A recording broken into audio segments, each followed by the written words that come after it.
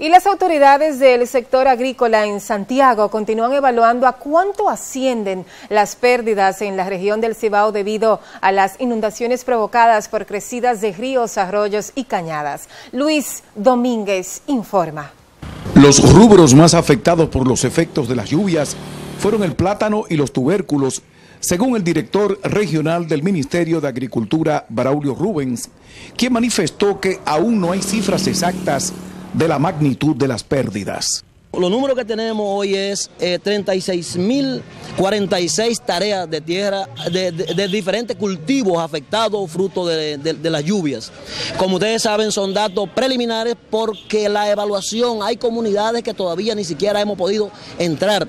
En comunidades ibaeñas, los deslizamientos de tierra continúan derribando viviendas, como es el caso de Palo Quemado, según narra Sigfredo Castillo, persona afectada. Se quedó todo, todo, todo tapado ahí. Cuando yo saqué la familia mía, que la llevé a, donde su mamá, para que tuvieran seguro. Diloneo Valle, gobernador de la provincia de Espaillat, afirmó que en esa zona han colapsado decenas de viviendas y más de una decena de puentes han sufrido daños. Más de 90 casas en toda la provincia, 61 en el municipio de Moca.